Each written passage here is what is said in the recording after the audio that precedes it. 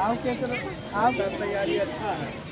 तैयारी सबका अच्छा पहनावा तो ध्यान दिए पहनावा क्या क्या रहेगा